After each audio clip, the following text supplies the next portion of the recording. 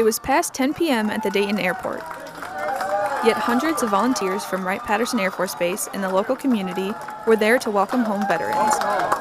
These veterans spent the day in Washington, D.C. as part of the Dayton Honor Flight. I mean, I just can't explain the emotion walking through this gate and seeing a thousand people here to greet us on a Saturday night was the most absolute humbling thing that I've been through. Honor Flight takes veterans to our nation's capital to see the memorials dedicated to their service and sacrifice.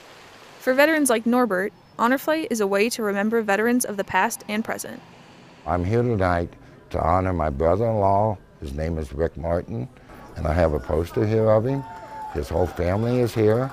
He passed away before he was able to go on the honor flight. And in our minds, even though he's in heaven, he's on this flight.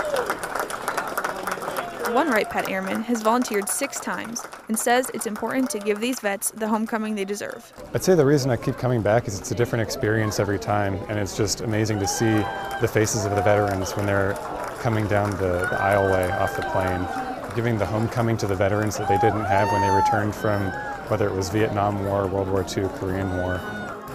Since their first flight in 2005, Honor Flight has taken more than 150,000 veterans to Washington, D.C. Reporting from Dayton, Ohio, I'm A1C Holly Ardern.